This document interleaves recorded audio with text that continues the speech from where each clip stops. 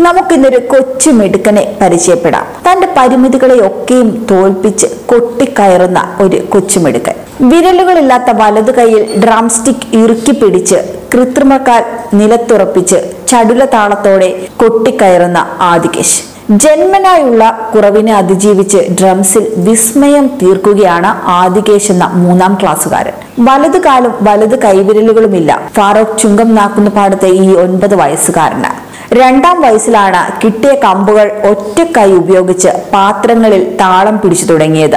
വീട്ടിലെ പാത്രങ്ങളും സ്റ്റൂളുകളും കൊട്ടിത്തകർത്ത കേശു കേട്ട വഴക്കിന് കണക്കില്ല.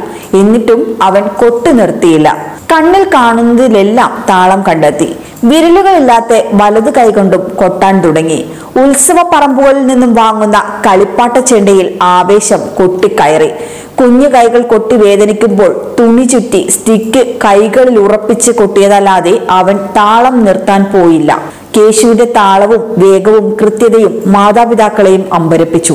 അവന്റെ ഉള്ളിൽ സംഗീതമുണ്ടെന്ന് അവർ തിരിച്ചറിഞ്ഞെങ്കിലും കുഞ്ഞു കേശുവിനായി ഒരു ഡ്രം സെറ്റ് വാങ്ങി നൽകാൻ കഴിഞ്ഞിരുന്നില്ല.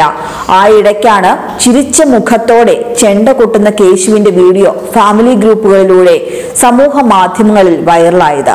ഇത് ശ്രദ്ധയിൽപ്പെട്ട സിനിമാ താരം ദേവൻ രാജൻ കേശുവിനായി വിലപിടിപ്പുള്ള ഒരു ഡ്രം സെറ്റ് വാങ്ങുകയും സ്കൂൾ പ്രവേശനോത്സവ ദിനത്തിൽ നടൻ നിർമ്മൽ പാലാഴി വഴി സമ്മാനമായി നൽകുകയും ചെയ്തു. ഡ്രം സെറ്റിൽ താളം പിടിച്ചു കൊട്ടുമെങ്കിലും ശാസ്ത്രീയമായി പഠിക്കണമെന്നാണ് Farooq Nallur G G U P സ്കൂളിലെ വിദ്യാർത്ഥിയായ കേശുവിന്റെ ആഗ്രഹം. ചിത്രരചനയിലും സമ്മാനങ്ങൾ വാരിക്കൂട്ടിയിട്ടുണ്ട് കേശു. യൂട്യൂബ് നോക്കി വരച്ച ചിത്രങ്ങളുടെ പ്രദർശനവും നടത്തി. കേശുവിന്റെ സ്വപ്നങ്ങൾക്ക് നിറം പകരാൻ അച്ഛനും അമ്മയും കൂടെയുണ്ട്.